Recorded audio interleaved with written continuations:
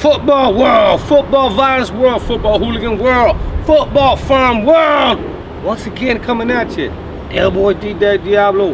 IMF Inter Miami Firm, Miami Casuals, Diablo TV. Like and subscribe. Do things you're supposed to do. And as we go into the hooligans, hooligan firms, UK hooligans of Northwest England, arguably the top in the entire United Kingdom of all time, if my research serves me well. We go into the question that's in everybody's minds in this game, in this thing of ours. Who's the top of all time? Now, I already said it before. United, what I'm with, Manchester United, the biggest, baddest, and the best. Red Army! But it's more specific than that. Because Red Army is a bunch of different firms that come together like Voltron. And apart from that, you got the Scarfers, that's Red Army.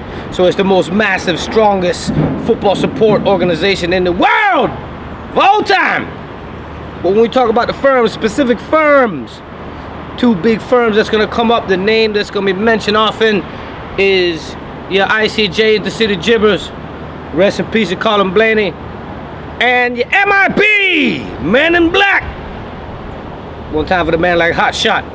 Now then, as I can see, and it seems like whether people like them or don't like them, MIB, Men in Black, Manchester United, that seems to be the top firm of all time as far as strength and violence. Sure, you got a lot of those others, and it's not like they've never been turned over. It happens to everybody. But even still, in the comments below, say what you want to say. Manchester United, MIB, Men in Black, top UK hooligan firm of all time.